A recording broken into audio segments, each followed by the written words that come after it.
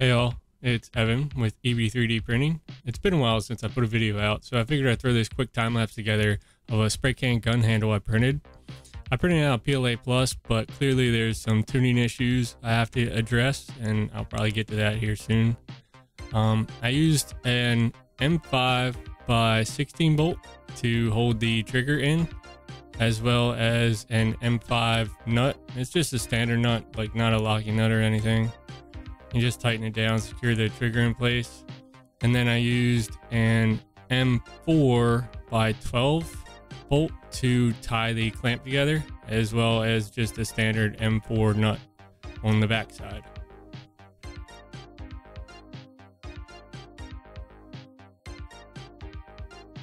And here we are putting it on a standard can of Rust-Oleum primer. Snaps right on, then you secure the M4 bolt to hold it in place. And once it's on, give it a little few little test sprays and it actually works.